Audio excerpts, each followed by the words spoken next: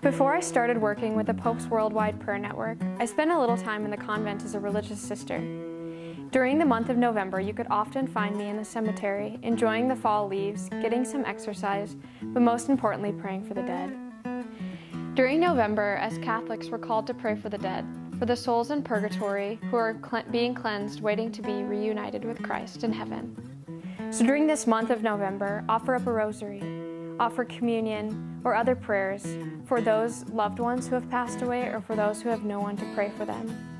Eternal rest grant unto them, O Lord, and let perpetual light shine upon them. May the souls of the faithful departed, through the mercy of God, rest in peace. Amen. God bless you.